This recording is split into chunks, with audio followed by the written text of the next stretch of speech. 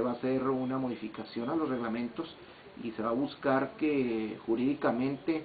eh, la situación esté regularizada para que los mercados sirvan como una fuente de empleo legal para nuestra ciudad de Chihuahua.